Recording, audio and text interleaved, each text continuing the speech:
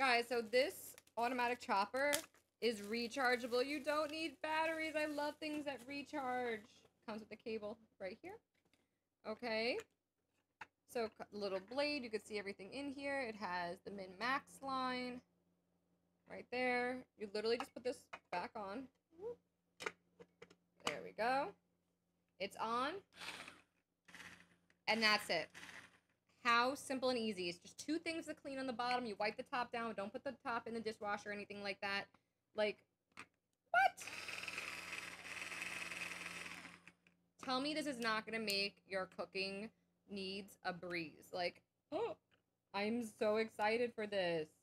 And again, the fact that it is rechargeable and I don't have to waste money on batteries is absolutely everything. So imagine chopping some garlic, some herbs, um, onions even, fine.